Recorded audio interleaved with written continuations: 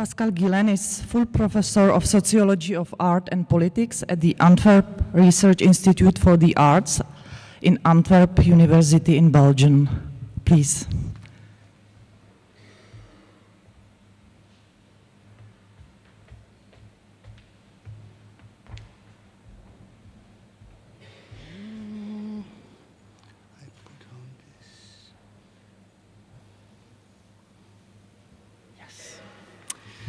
First of all, I want to thank you for the organization also, the Arts and Theatre Institute. I think you did a wonderful job.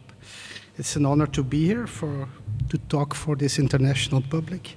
And I think it's the it's not the first time, it's the second time in my life I speak in a church, so it's also nice to to have in this uh, settlement.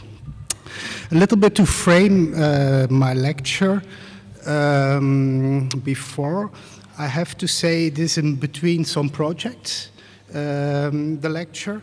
It's based, first of all, on a study I did, I think, four years ago or five years ago already, uh, in which the main Flemish uh, uh, institutions, like uh, Museum of Contemporary Art, uh, but also the, the Royal Ballet, etc., asked me to, uh, to make a study about what their role could be in Flanders is not a nation state, of course. I have to be curious about this. But at least what is your national uh, position and what is our national uh, role also as an institute, as a cultural institute, in this changing uh, globalization uh, or global world? that was their main question. later on, I made uh, more studies about this. For this study, we looked already quite uh, a lot um, in different uh, European countries and different institutions.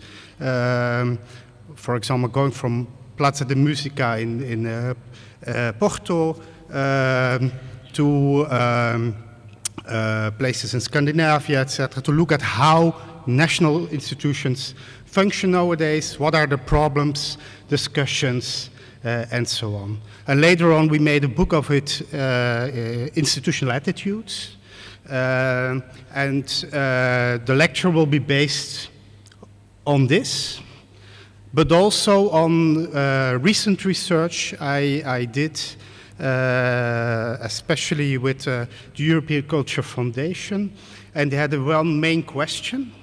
And I, I phrase this question because then you have also an idea what I'm talking about. The question was, is there such a thing possible as a transnational or a European, pan-European even, um, civil space. What could this be? And of course, second question, was the European Culture Foundation. What can be the role of culture in it, cultural organizations, cultural institutions? So this frames, this will frame uh, uh, my lecture. And that's also why I come to the title, but I will explain during the lecture uh, that I think we have to go uh, from institutions to what I call constitutions uh, for civil domains, uh, for culture. But before I start, um, I promised myself, I tried to put on this, I hope it works. Yes, it works. Um, I promised myself uh, this year to dedicate all my lectures to uh, Mark Fisher. Uh, Mark Fisher, I worked a lot with Mark Fisher, um, but he uh, committed suicide uh, in January 13th. So until next year, January 13th, I will always dedicate my lectures to uh, Mark Fisher. Mark, Mark Fisher, his thinking influenced me a lot, also in, in the work and also in the lecture which I will give. one of his main, I, I think, central publications was Capitalist Realism. Uh, uh, but also a beautiful book is Ghosts of My Life, which is much more uh, close to the person himself, in which he explains how the cityscape and the soundscape exactly of London can make you depressive.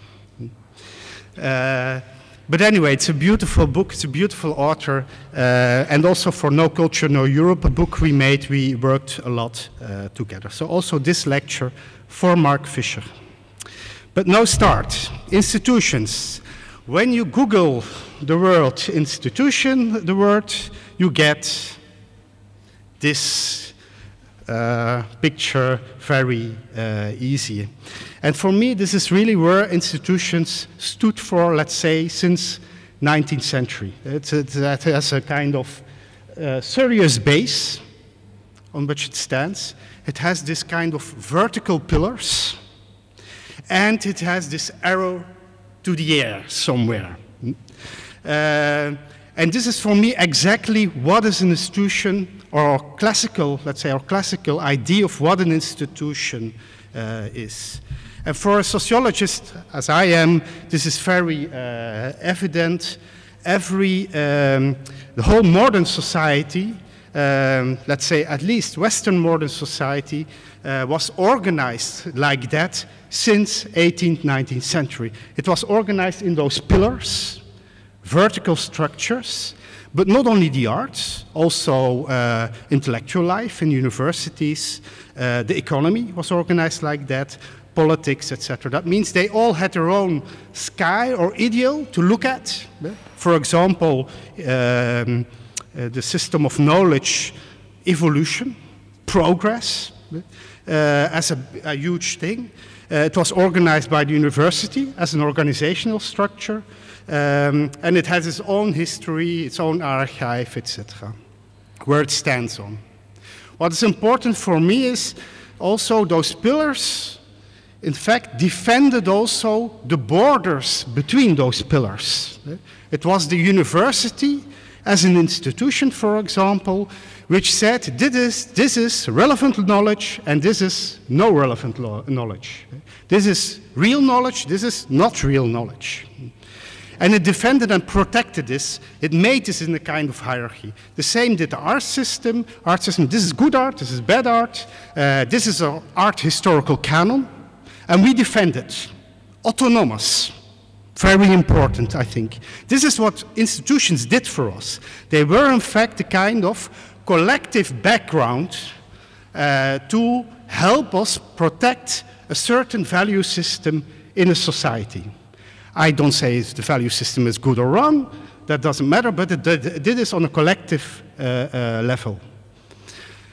So, and with this whole system, I always say I take as a symbolic date or symbolic years in the 70s, 1970s, 80s, this completely changes. Uh, uh, institutions cannot anymore defend those borders. This is uh, uh important thing, or less and less, uh, because they are mixed up uh, with other institutions, like, for example, the institutions of the market, which is uh, uh, quite simple, but also politics intervenes again uh, more and more in those institutions. So we get a kind of hybridization of those borders and a, very kind, strange kind of mixture. This has to do with uh, this. The world is becoming flat and wet again. Uh, so this is back to the Middle Ages as a metaphor, of course. Uh, but this is really happening nowadays. We are surfing on the net, and you need to be connected because otherwise something happens like this boat. You drop off. And this is also a lot of organizations nowadays are called network organizations because this is very necessary. You need to be connected, you need to be networked to be, uh, to stay on the surface and to stay surfing. But surfing means also that you stay on the surface. There's no depth, but there's also no sky anymore. Eh, you have no time. You jump from project to project, from exhibition to exhibition, from theater project to theater festival, etc. It's always going on like this. Surf, so, tuck, tuck, tuck, tuck. That's the, the whole mental set in which we are now, I think. It has three um, uh, main reasons which made, in my eyes, the world flat. Three historical uh, reasons, I think. Uh, it has to do with three historical shifts. Uh, I'm not a historian, so I don't know what the connection is between those three shifts, but I see they were there, those three shifts. And the one is very well known, I think. It's what uh, we call nowadays uh, the deconstruction of the welfare state, uh, uh but also it happened, let's say, symbolically uh, for Europe uh, in 1989. when, in fact, a liberal society and, or let's say, the opposition between liberal and or left and right disappeared in some eyes, uh, and we had those kind of publications as uh, The End of History, we, uh, we all know probably, which uh, said that in fact the liberal democracy is the only one ideology. Uh, this means also literally the shift to what we call in newspapers neoliberalism. Uh, it is the deconstruction of the welfare state, but it means also the deconstruction of institutions.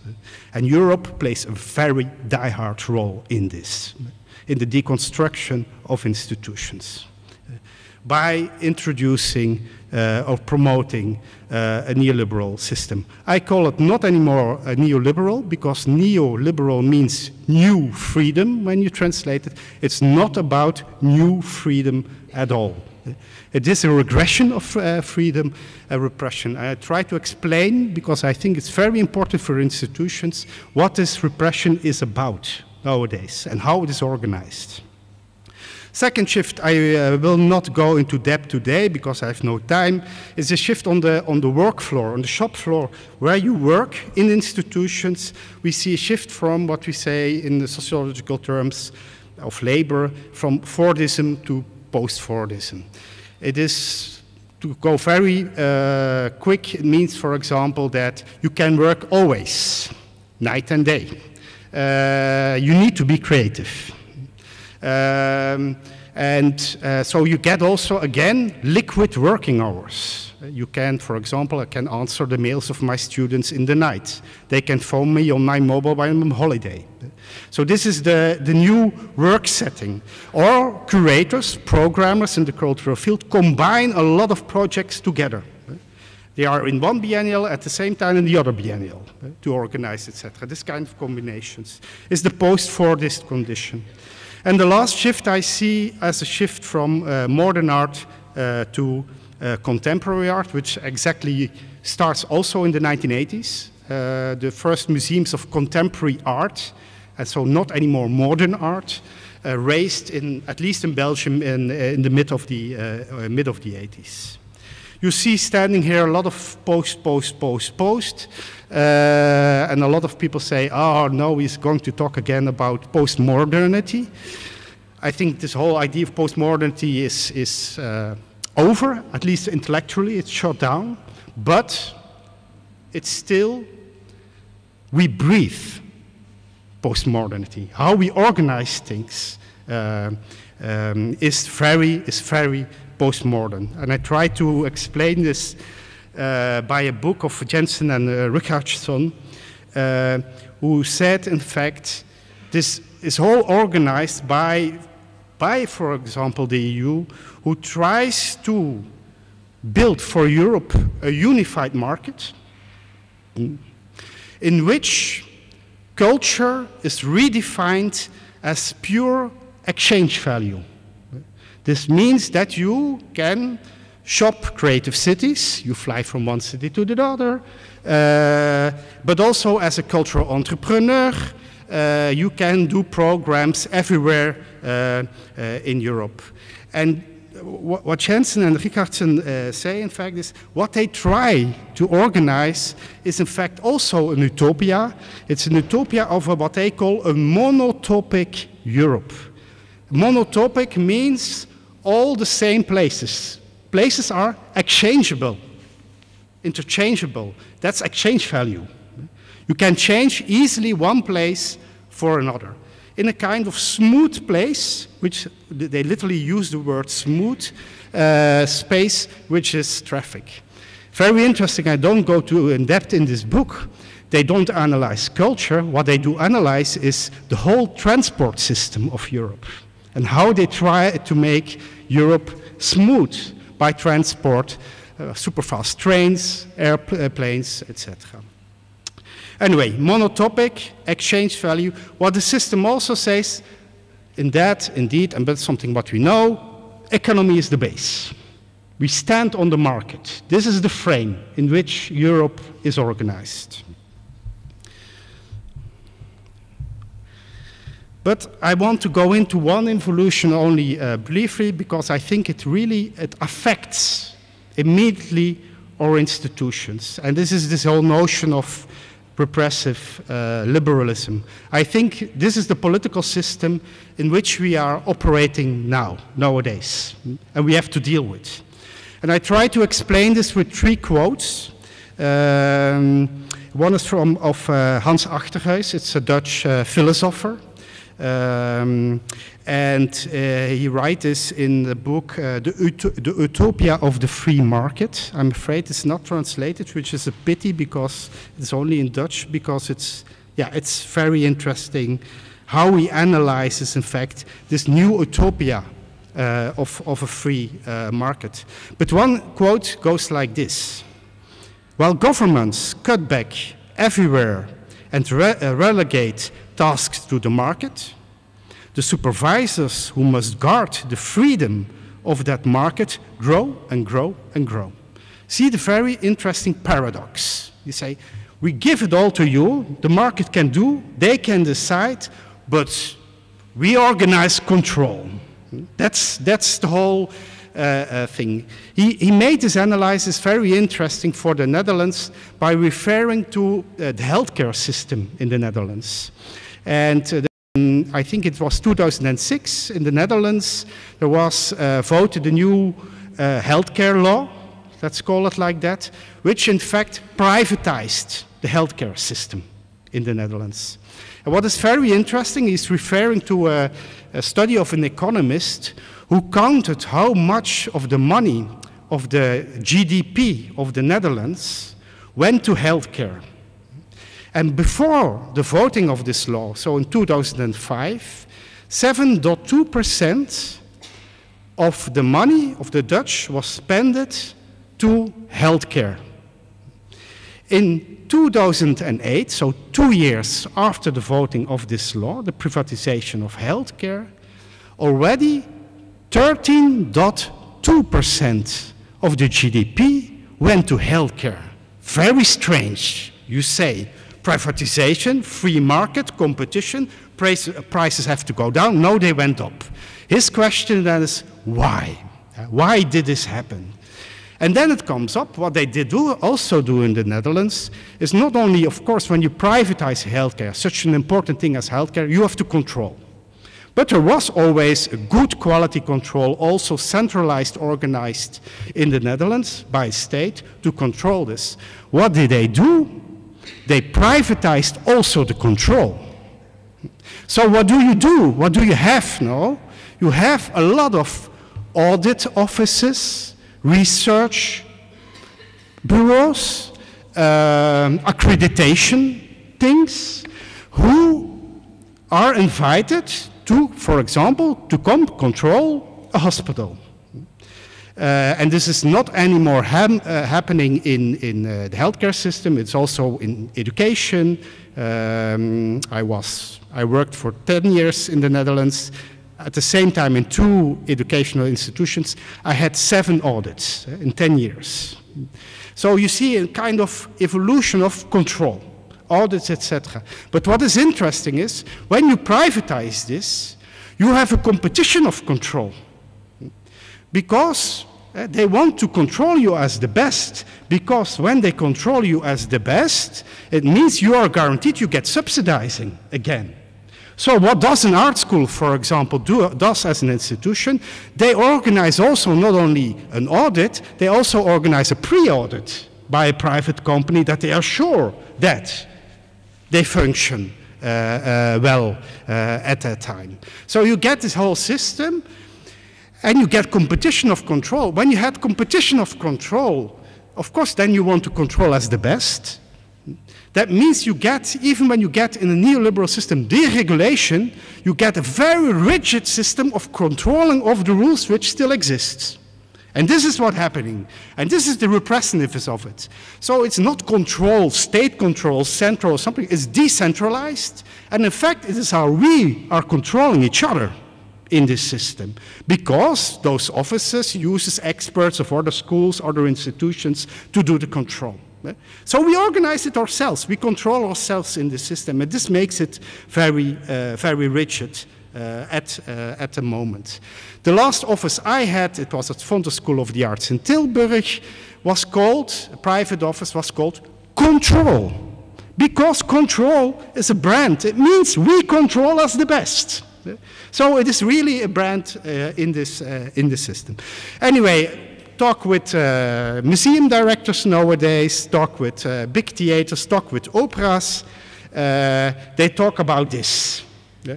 That they have to do this audit again and again. They have to count the public. They have to legitimize themselves, etc. And this is, but the government says, "Oh, you are autonomous. We give you some money, but do it yourself."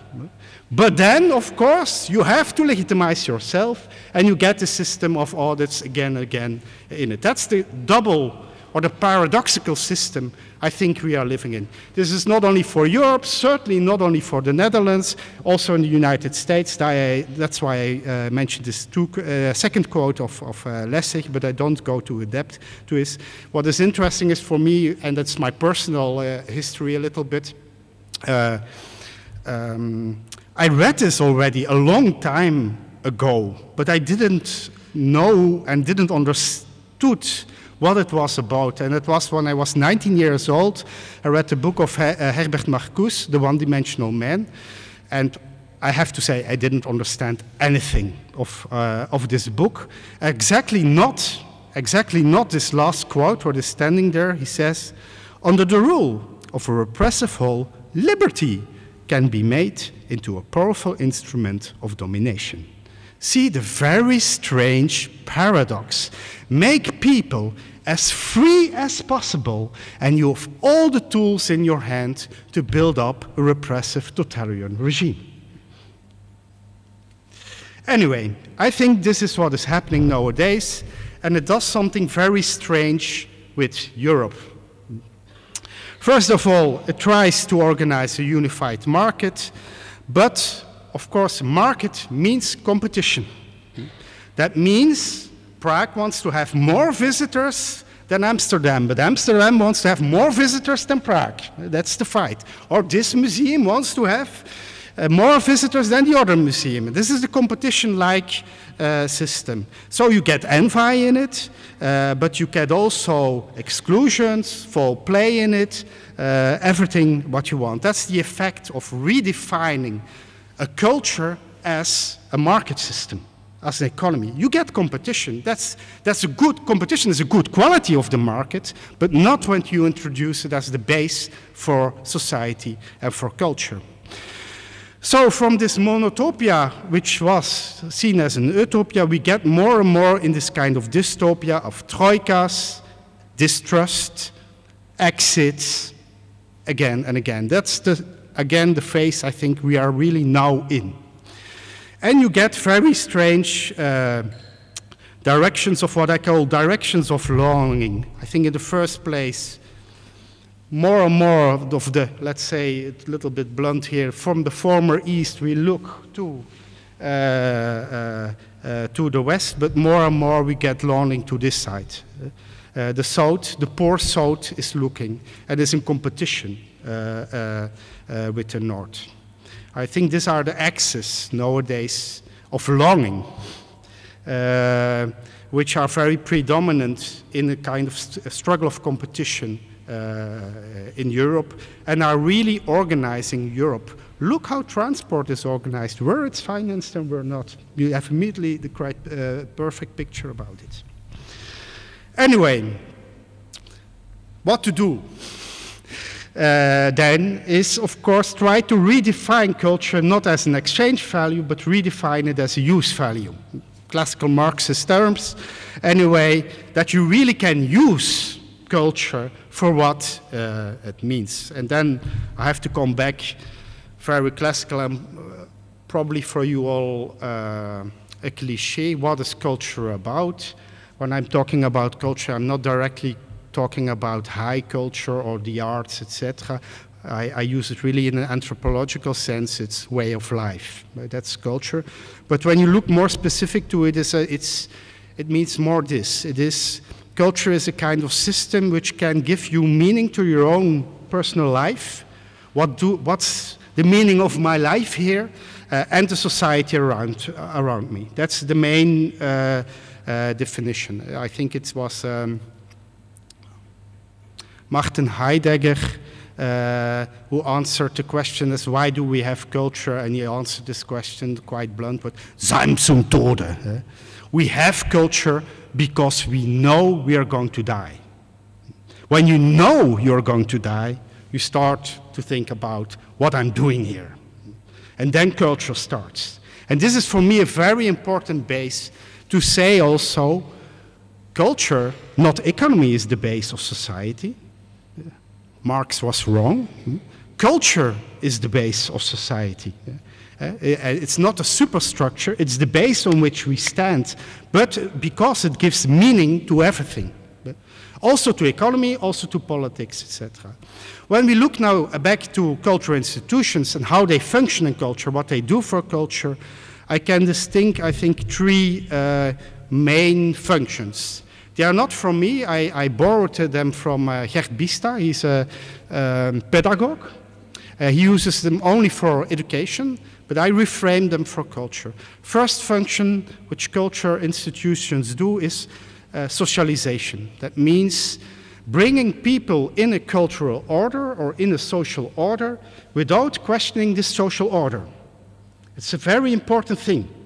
It's, it's the base.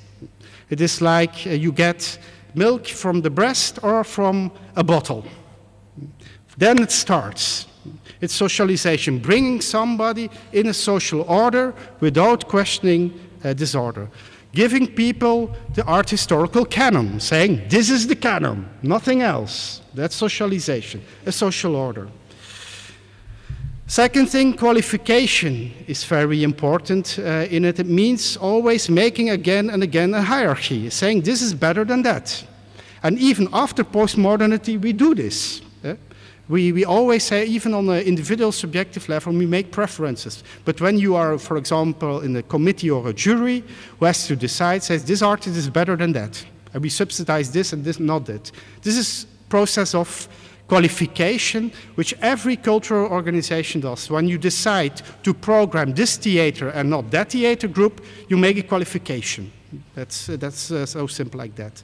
The last one uh, is for me much, uh, uh, much more important, I think, especially also related to the art, but also I see more and more for cultural heritage institutions.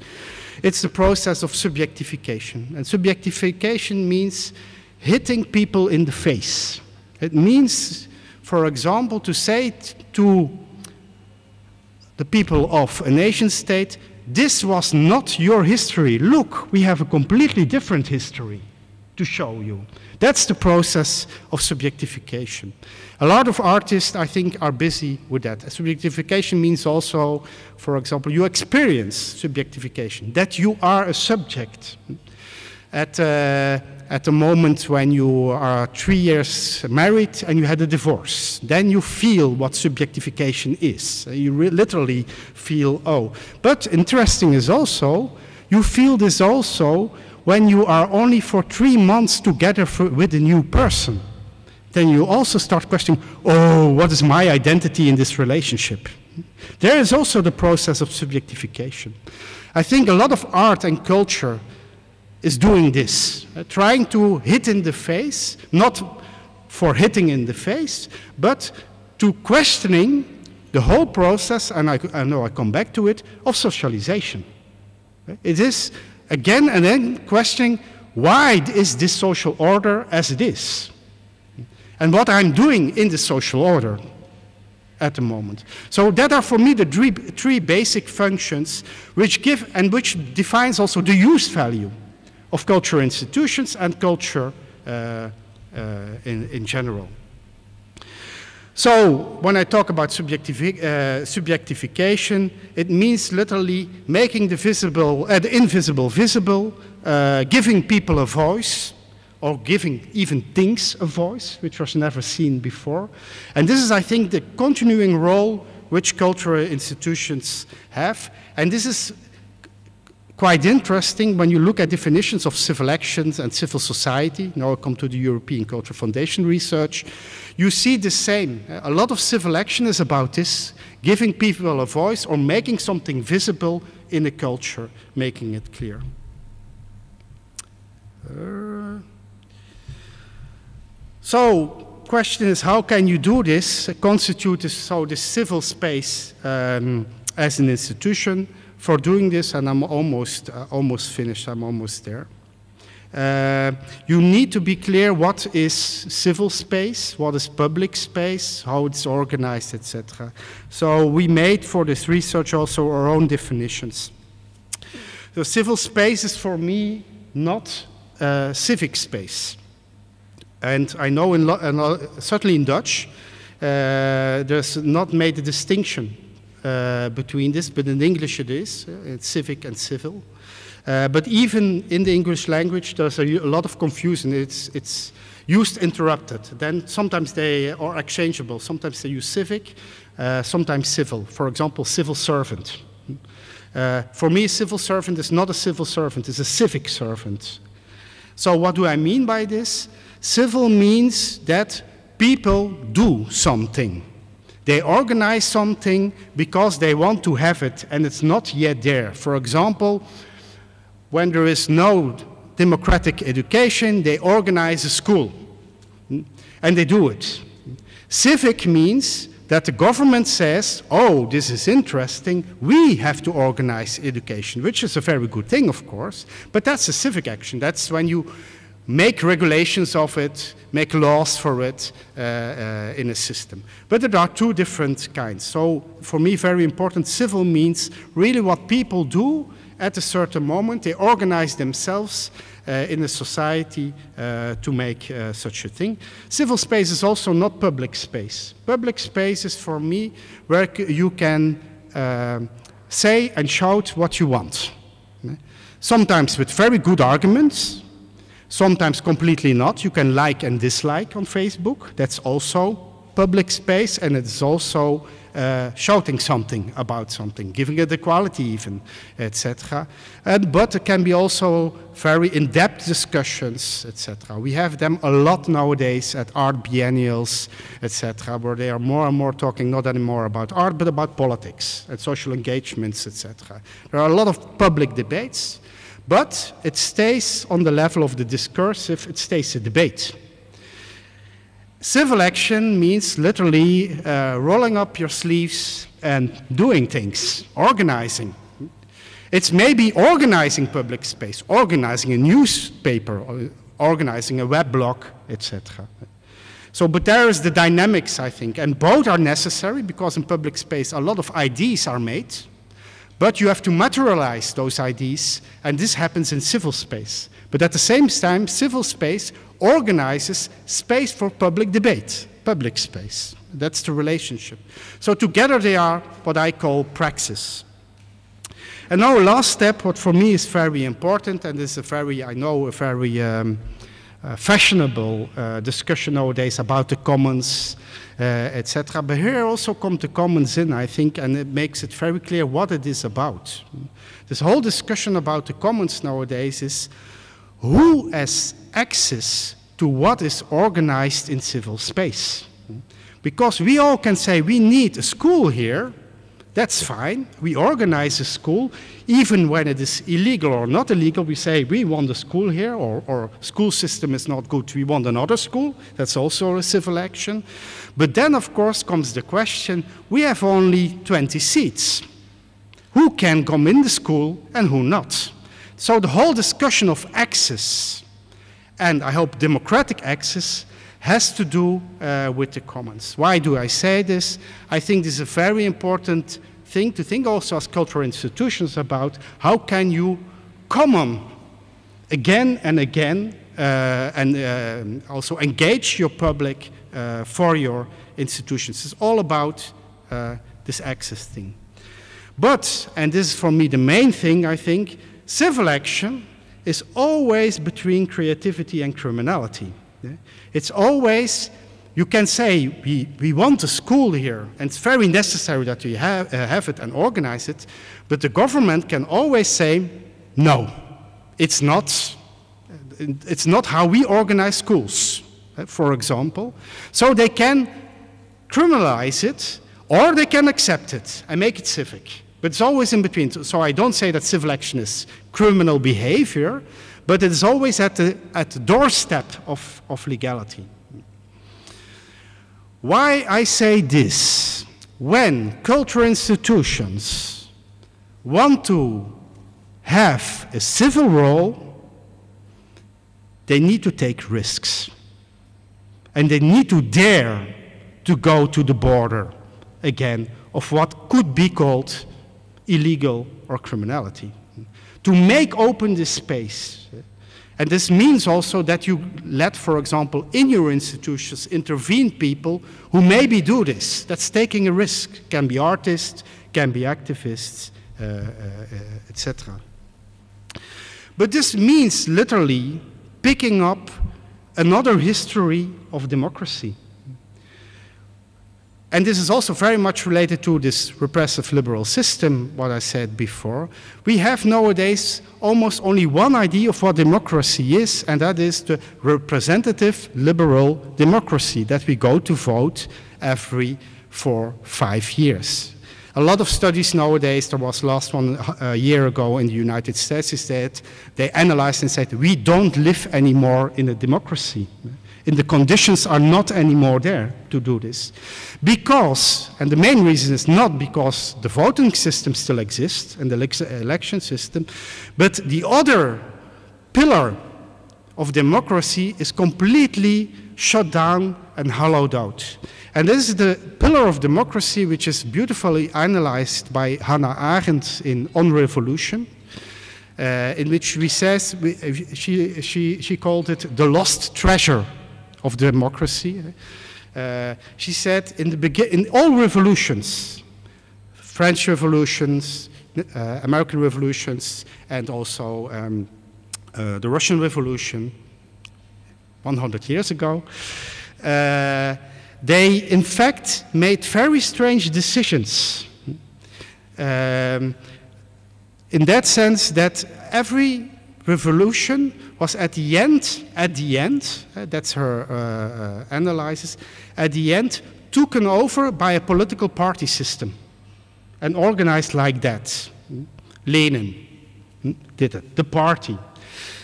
He, Lenin, for example, made lip service by calling the Soviet Union to referring to the Soviets, but the Soviets, in fact, were a completely other system of organizing democracy. It is bottom up, people who organize themselves and claim things. It's, very, it's like the Paris Commune, uh, it's the same uh, thing.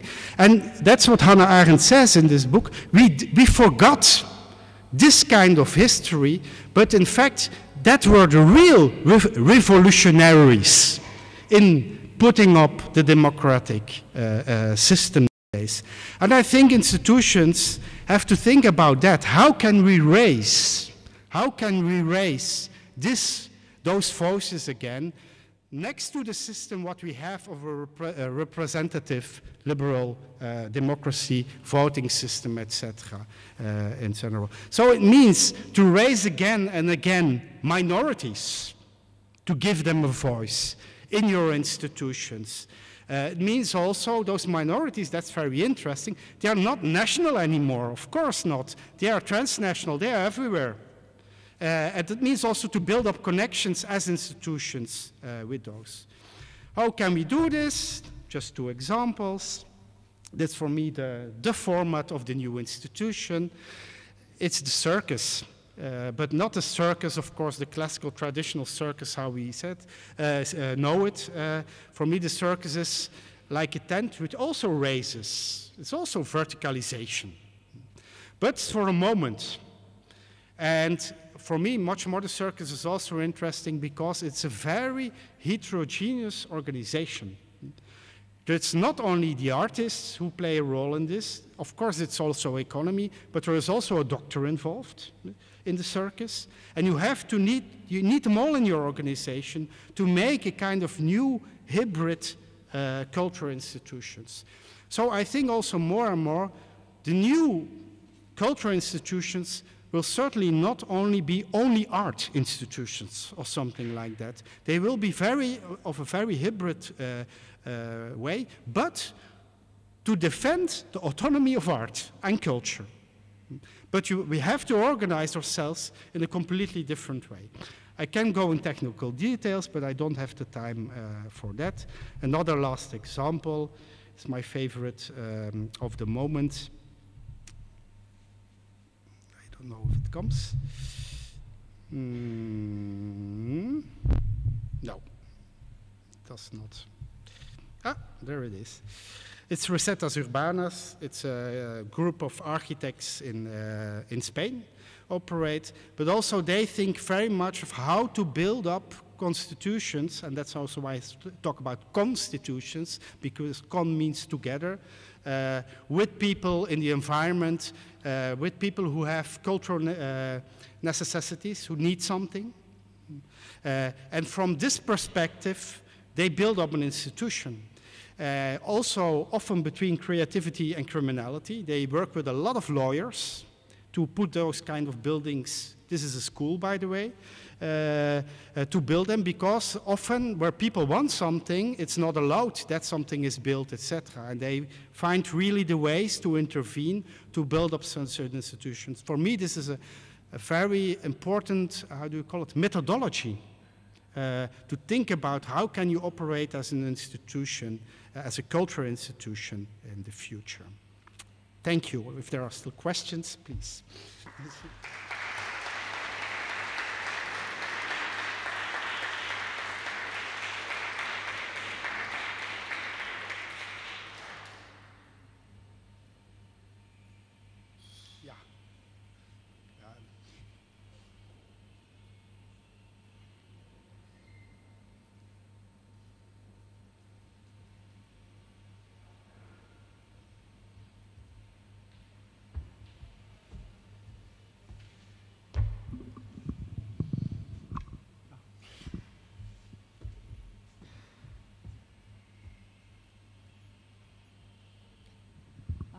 We have time only for one question because we have then go further with the with the discussion panel, but you will have chance to discuss uh, later on. So just one question.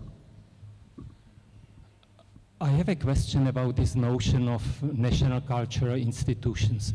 Historically speaking, uh, that means uh, the rise of nation states in Europe in the 18th and 19th century, culture was understood as national culture. Mm-hmm. Yes, and all these national cultural institutions uh, have very specific role. And the main role was to provide narrative of national identity. Mm-hmm. Yes, you have not touched on this uh, topic. And mm-hmm. I think it's very important mm-hmm. today with the notion of populism because we are coming back uh, to this idea of uh, I, national identity based on the other. Mm-hmm. And, and so I would like to your response to this question. Yeah. I'm sorry, uh, that's because I knew that I need to be fast, but indeed, of course, uh, that's, that's the whole thing. Uh, national uh, institutes were built up to uh, make a kind of homogeneous, and this is very interesting for homogeneous national culture. Uh, for example, the library system, uh, for literature, national literature, theater. We had it definitely in, in, in, Belgium, Flanders. Flemish theater was one of the first subsidized art systems to make this kind of national uh, identity construction. And uh, it's interesting, I think, for me, I think the mistake, what we cannot make nowadays, let's say it like that, is just transform this kind of national construction on a European level. Uh, because then we do the same. Okay? Then we reorganize it. So for me, it's very important. That's also why I came up with this kind of risky zone between creativity and criminality. I think it's very important to rethink our institutions nowadays as uh, institutions which feed democracy, and that means for me is feeding diversity again again. So it is in fact counter, maybe counter is the wrong word or too strong, but it is counter homogenization. It is really popping up again and again and supports uh, uh, what comes in. So that's for me uh, a completely other direction nowadays uh, is institutions need to take, need to take, I say. But uh, I know it is a very tricky thing as a national, even when you're a national institution, to do this.